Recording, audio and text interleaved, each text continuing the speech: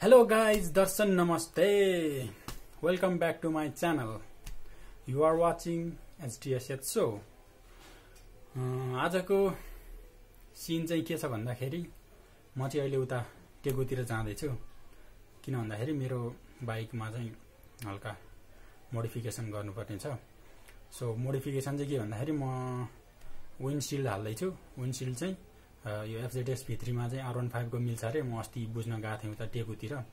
अनि एकचोटि अब बाइक ल्याएरै हेर्नुहोस् भन् भने खाने उता। त्यही भएर म चाहिँ आज उता टेकु जाँदैछु। अनि टेकु गएर अब मिल्छ कि मिल्दैन हेर्नु पऱ्यो पहिला। अब त्यतिकै हालेर मात्र भएन होइन। राम्रो पनि देखिनु पऱ्यो राम्रो देखिन्छ कि देखिन हेरौँ।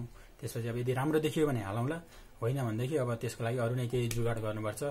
सो टेकुतिरै लागौँ न त अब होइन? लेट्स गो वान फाइभ भित्रीको विन्डसिल्ड हो। यो चाहिँ अहिले यसरी फिट हुन्छ।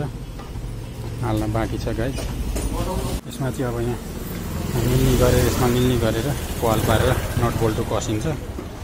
त्यसपछि फिट गरिन्छ।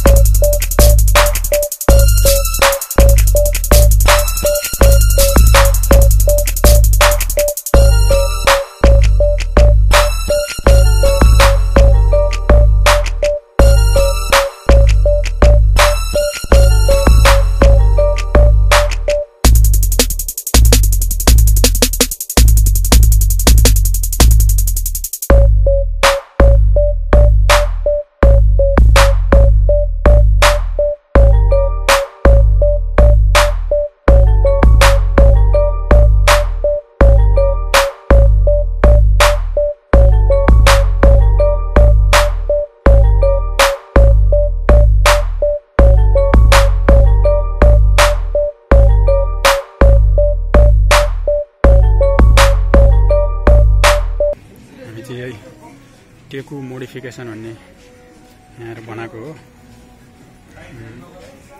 हजार रुपियाँ जति लाग्दो रहेछ।